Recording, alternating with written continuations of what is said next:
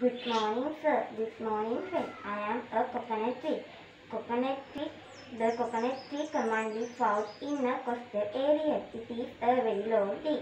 It has no branches. There are long green leaves at the top of the tree.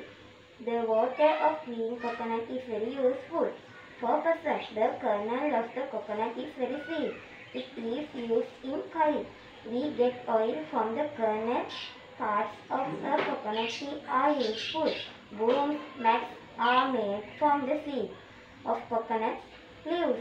Some people that their house with its leaves and some some use roots are made from fibers the tool is used in building house. Many kinds of sweet chutney biscuit cake are made with its kernel coconut.